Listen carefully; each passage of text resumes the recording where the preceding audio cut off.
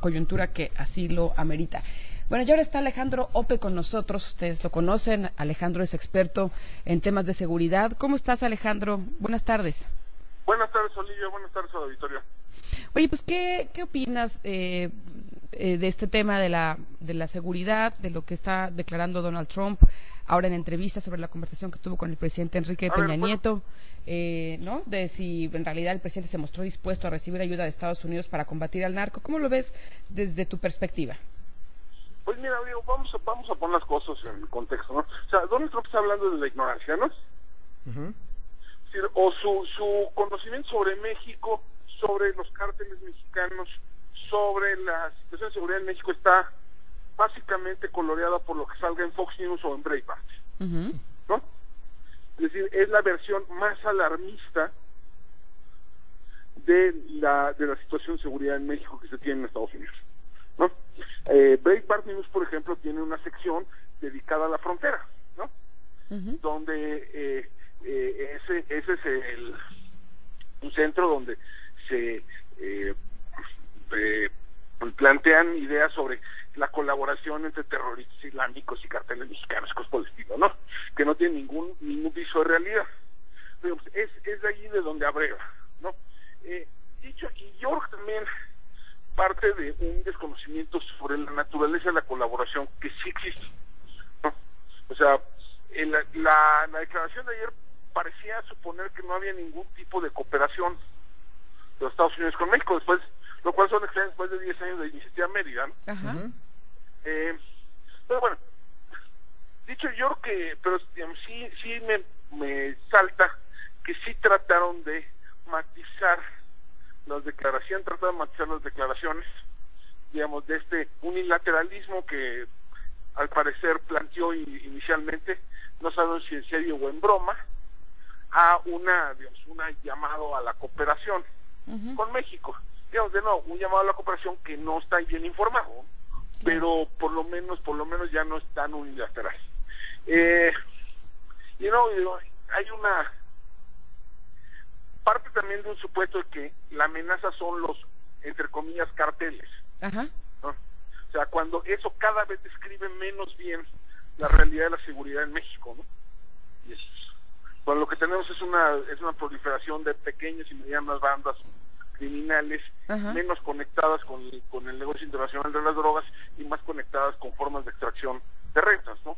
Entonces, bueno, yo, yo celebro que sea menos unilateral el mensaje, pero también es alarmante que el presidente de los Estados Unidos no tenga ni la más peregrina idea de cuál es la de qué está pasando de este lado de, la frontera. cuál es la colaboración que existe. Así es, Alejandro, está aquí Omar Sánchez de Tagle que quiere comentarte algo. Oye, dos, dos, dos temas. Omar, buenas eh, tardes dos temas que seguramente ya los hemos, los hemos platicado, pero finalmente este informe reciente que sale en Estados Unidos de los elementos de las garitas, que resulta que todo el mundo pensábamos de repente en un momento que la corrupción era en México y que los corruptos eran los agentes aduanales, sobre todo mexicanos. Pero este último reporte que saca Estados Unidos, obviamente semanas antes de que eh, saliera Obama, eh, te define muy bien el tipo de corrupción que hay eh, por parte de los agentes aduanales en Estados Unidos.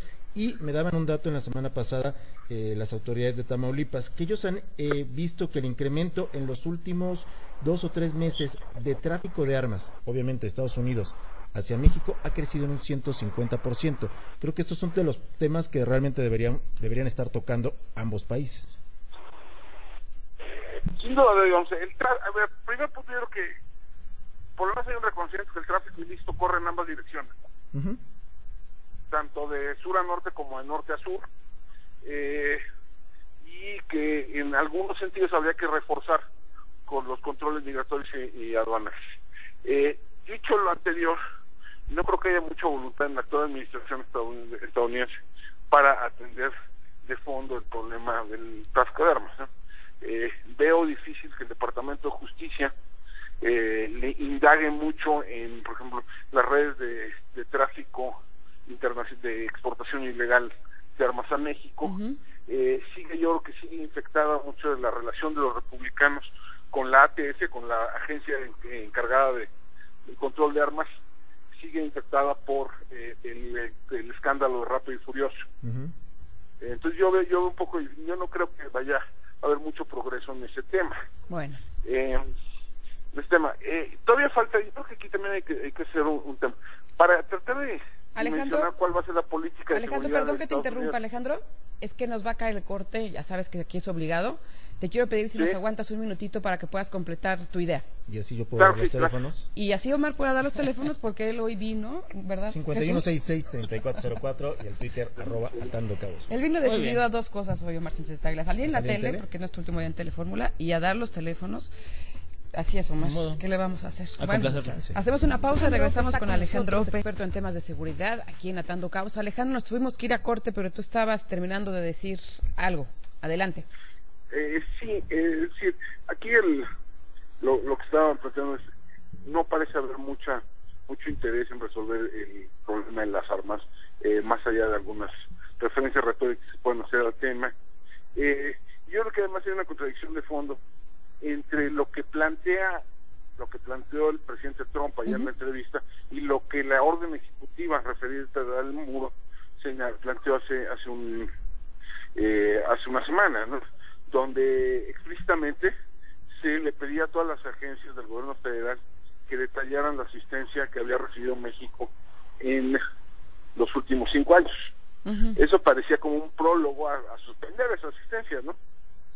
Claro. Eh, o al menos así se leyó en el contexto de la orden ejecutiva que eh, eh, mencionaba el tema del muro y mencionaba la criminalización de los migrantes. Claro.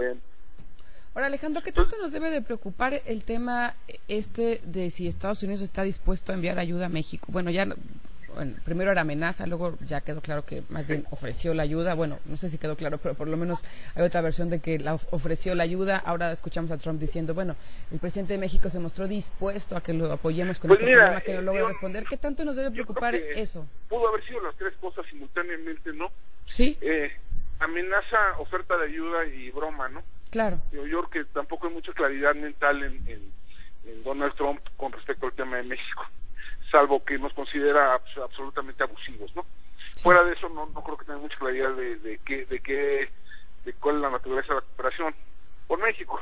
Entonces, eh, yo este eso lo que lo que refleja pues es este tipo de confusiones ¿no?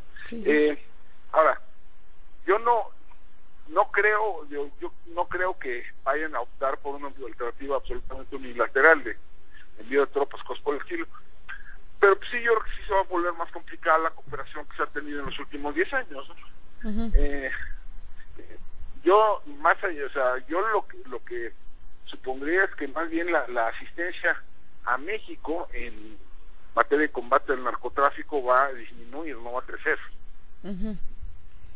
pues sí pues bueno, pues Alejandro, pues muchas gracias por estos comentarios aquí en Atando. Muchas gracias. Gracias, Alejandro. Alejandro Ope es experto en temas de seguridad y